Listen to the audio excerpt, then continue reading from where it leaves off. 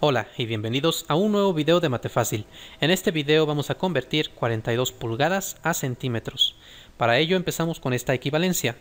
Una pulgada es igual a 2.54 centímetros.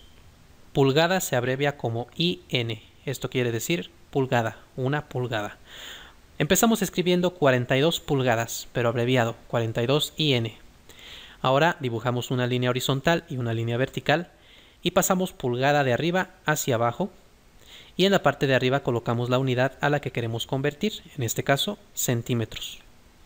Ahora aquí vamos a utilizar nuestra equivalencia.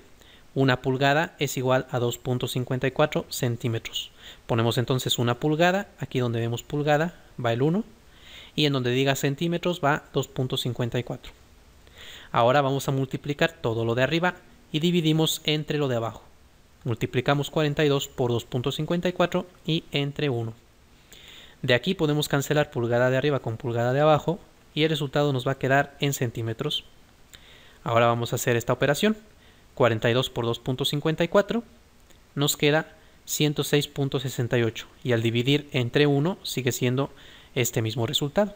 Entonces así dejamos el resultado y eso es a lo que equivalen 42 pulgadas en centímetros.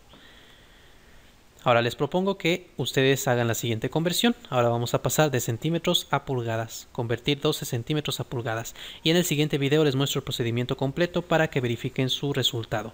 Si les gustó este video, apóyenme regalándome un like, suscríbanse a mi canal y compartan mis videos. Y si tienen cualquier pregunta o sugerencia, pueden dejarla en los comentarios y yo les contestaré en cuanto me sea posible hacerlo.